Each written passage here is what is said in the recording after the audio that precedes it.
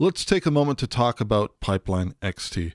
So, as of Studio One version 4, we got a new update to Pipeline, which is PreSonus' answer to incorporating external hardware into your Studio One songs. So, I've got a song open here, and we're going to take a look at setting up some presets and how to set this up to work in a couple different scenarios. First of all, we're going to be taking a look at using a mono instance of Pipeline XT. And in this case, I want to be essentially routing my audio out of Studio One to my ADL 700 so that I can do a little bit of EQ and compression in the analog domain and bring this back in and have everything incorporate really smoothly into my song. So the first step when setting up Pipeline, in fact, let's create a blank audio track here for a moment. So I'm going to go to my plugins and in my recent menu here, you'll see we have Pipeline Mono. Now, when you load up an instance of Pipeline for the first time, you're going to be greeted with this blank display over here. So the first thing that we need to do is we need to make sure that we set up our inputs and outputs accordingly. I happen to be using a PreSonus quantum system. In addition to that, I've actually aggregated a quantum 4848 to my main quantum. The first thing that we need to do is we need to essentially access the audio I.O. setup. So in this case, we can enter either one of these drop-down menus and you'll notice that we have this shortcut to our audio I.O. setup. Now, the idea here is that we want to make sure that we're utilizing the inputs and outputs that we have within our interface so that we can get the signal out of the DAW and back into the DAW from our external hardware.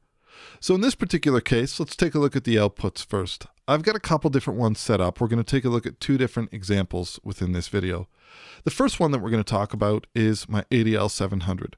So the ADL 700 being a mono channel strip, I essentially only need to designate one output. So in that case, I've just chosen line out one on my main quantum to be the output.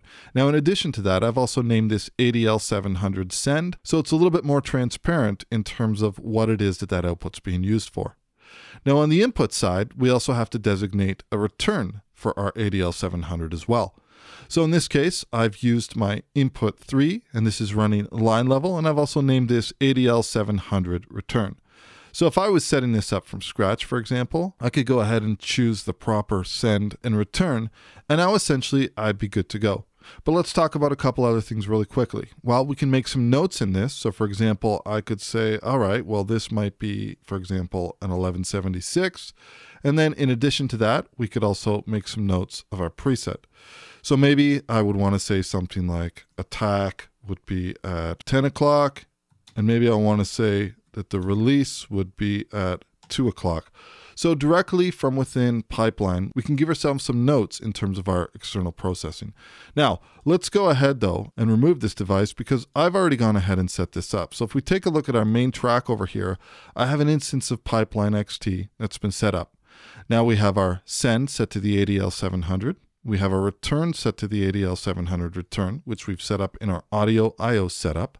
Now, a couple other things I want to point out is that this is all automatically compensated for. So if you do something like, for example, change your device block size, let's change that from 64 to 128, you notice that this number here has changed. If I brought this from 128 back to, for example, 32, click OK, we'll notice that this has changed again. Now, anytime that you have, for example, set a manual offset, at any given point in time, Clicking this auto button will automatically realign the signal so that you won't have any phasing and any latency compensation that's happening within this plugin is going to be sample accurate. Now, once you've gone ahead and set this up, this is simply a matter of making your adjustments on your hardware. And we can now see that I'm actually processing this lead vocal channel through my ADL 700 in the analog domain. Ya no me quedan ganas de gastar el tiempo. Así que toma tus cosas, recoge, vete de mi lado. Now we can do some other basic things in terms of I can increase the amount that I'm sending to the external hardware or I can back off of the return. In addition to that, we can flip the phase over here by this button. And we also have a dry wet blend knob that we can use as well. So if you wanted to do some aggressive processing in the analog domain and blend in the original signal, that's something we can do as well. Now, in terms of some other options we have over here, we can have a look at the difference of these two signals. We can also adjust our zoom setting. We can adjust the speed at which the waveform display is updating. And then last but not least, we also have the option to bring in a picture. So, in terms of the picture, we can actually take a picture on a phone and bring it over to our computer system, and then essentially it's just a drag and drop directly from a Finder or an Explorer window right into the actual GUI. Now, because I'm using an ADL 700 and because Presonus has actually made a plugin version of that, I've actually gone ahead and just manually adjusted all of these parameters to exactly match what my ADL 700 is doing. So for example, my compression ratio, any thresholds, my attack and my release settings, my overall makeup gain, all of my EQ settings that are making up this sound. And I actually took a screenshot of this. So let's go ahead now and have a look at how we would go about bringing that in. I'm just going to bring in a Finder window right over here. I'm going to navigate to my desktop and you can see that I have this picture over here, ADL 700 settings. So let's just open up the GUI and we'll open up our Finder window, and I can actually drag this right in to my GUI, let go, and now I have these settings over here. Now I can toggle between showing the image and showing the basic waveform display as well. But at any given point in time, a single click here will bring this out into the full resolution image so that I could easily recall these settings if I needed to. And then again, a single click will bring us back out. So that is setting up Pipeline XT in a mono configuration. Let's have a really quick look at the stereo configuration because there's a couple things that are slightly different when it comes to the stereo version. Now, right off the bat, one thing I want to point out is you may notice that the actual name of this plugin in my effects chain is ADL 700 versus Pipeline Mono. That's because when I saved this preset, I renamed this actual device to be the analog device that I wanted it to be. What happens then is if I'm dragging in a preset, for example, from my browser, that not only will it bring in the preset, but it will also name the actual effects plugin according to the name I've given it. So, for example, let's take a look at this first one over here. This is a stereo version of Pipeline XT. We'll go ahead and drag this in. So first things first, you'll notice that our send and return is actually blank. Let's reset these. I've already gone ahead and made sure that I named my send and return in my audio IO setup. So we can choose Alesis Stereo Send. And in my return, I will choose Alesis Stereo Return. Now, because this is actually an unbalanced piece of equipment, I've also gone into my universal control setup on my main quantum.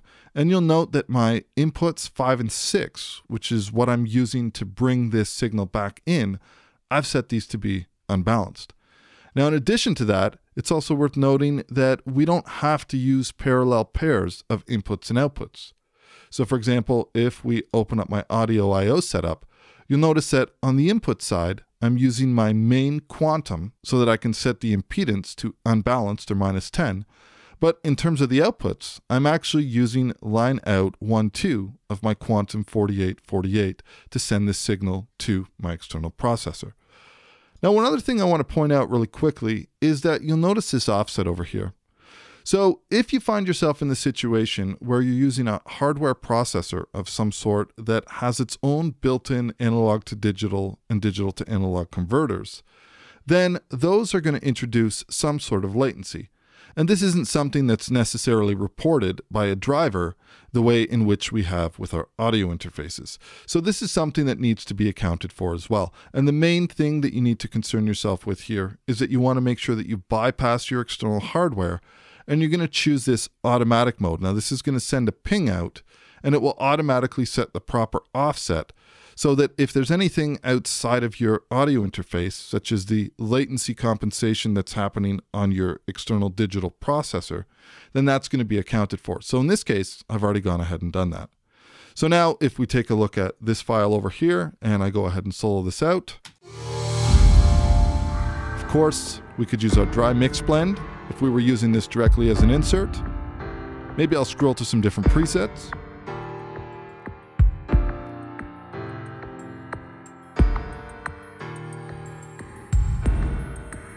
So there's an example of using this as a direct insert on a stereo track. Now, in addition to being able to do that, there's one other thing I want to cover before we leave off here, and that is when using it as a send and return. So let's go ahead. I'm going to drag in actually a different preset that I've created. You'll notice in brackets this says mono send. Let's go ahead and drag this into my effects return over here. Now, the main difference over here, as you'll note, mono send line out one. Now, in terms of the return, I can bring that back in on the same stereo return. But now what's going to happen here is if we take a look, for example, at our vocal track, and let's go ahead and make sure that we activate our external reverb send. And in fact, we'll deactivate these other sends as well. So now if I have a listen to this, Ya no me quedan ganas de gastar el tiempo. So this is one of the major changes that happened with Pipeline XT. In the previous generation of this plugin, there was no option to use a mono send. You had to use a stereo send, meaning that any time that you were sending out from your interface, you could potentially lose one output. But this is something that has been overhauled in the stereo version of Pipeline XT. We can now create a mono send with a stereo return, as I've done in this particular situation. Now, any notes that we make in terms of naming the device, or if we wanted to make any notes like over here, I could say, right, well, this is preset 13. I'm just having a look at this. I don't necessarily always need to import a picture. And I'm just going to name this Marble Room. Now this is essentially stored within this preset if I was to save the Studio One song, or if I was to export this preset, this information would all be recalled. So in addition to being able to use this directly on a stereo track as an insert, we could also use this in a send and return type fashion, where we're essentially using a mono send, but we're bringing back stereo return. Let's have a quick listen.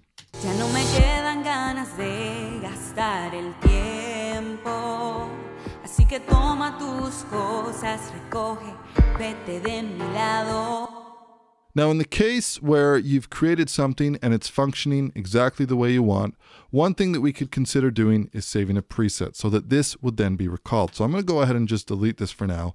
And I've already created this preset. So what I will do over here is I want to update this preset so that it uses a mono send and a stereo return. We'll just go ahead and we will replace this preset. Now you'll note that if I was to take this and remove it and bring in this preset of Pipeline Stereo, drag and drop from the browser, you'll note that we have our mono send and our stereo return. You'll also note that because I named the device, that this is carried over, which I think is a nice touch to be able to see your external hardware in the actual name of the effects plugin. One other thing to point out is that if I was to essentially instantiate this from within here, Keep in mind, our pipeline stereo is the main name. If I then loaded up a preset, either one of these, then this would still be called pipeline stereo. But when you're doing a drag and drop from the browser, this will retain the name. In addition to that, we can also store different colors in our presets as well. So if you wanted to have a different way to identify these different plugins, that's something to take into consideration as well. So anyways, that's using Pipeline XT in Studio One. Super easy plugin to navigate automatic delay compensation, and flexible routing options in terms of our send and return. Once again, I hope you got something from this video. Thank you for your time, and we'll catch you in the next video. Cheers.